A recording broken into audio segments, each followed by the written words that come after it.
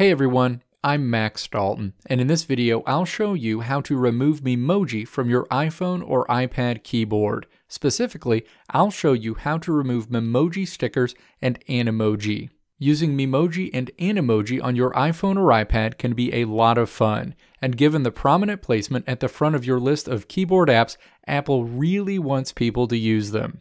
Whether you're not a fan of either Memoji or Animoji at all, or you just don't need the Animoji and Memoji stickers apps being in your face all the time at the top of your keyboard, getting rid of Memoji and Animoji on your keyboard is easy and only takes a few seconds. Now let's walk through the steps to remove Animoji and Memoji stickers on your iPhone or iPad keyboard. Step 1. Launch the Messages app on your iPhone or iPad and then tap to open a conversation.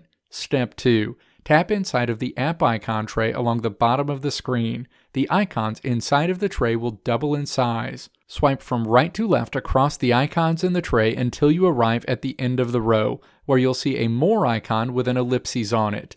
Tap More. A screen appears showing all of your keyboard apps. By default, Memoji stickers and Animoji will be enabled and appear in your favorite section. Step 3. Tap Edit in the upper right corner of the screen. You'll see editing options appear to the right and left of your iPhone or iPad keyboard apps. Step 4. Tap the minus sign to the left of either Memoji stickers or Animoji. In this example, I'll tap the minus sign to the left of Memoji stickers. A red box appears to the right of that option that says Remove from Favorites.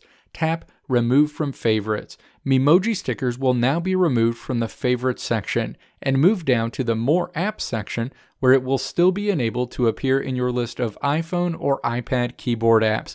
Let's keep going to remove it entirely.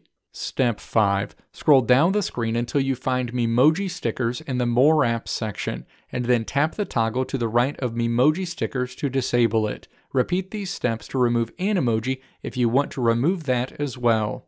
Step 6. Tap Done in the upper right corner of the screen to save your changes and remove the editing options next to the list of apps, and then tap Done again in the upper left corner of the screen to close that screen and return to the Messages app, where you'll now no longer see either the Memoji stickers or Animoji apps in the row of apps that appears at the top of your iPhone or iPad keyboard. Let me know what you think of Memoji and Animoji in the comments below. If you liked what you saw here, click the video link on the right side of the screen to check out another video. Or click the logo on the left side of the screen to check out my tutorial website to see more great tutorials like this one.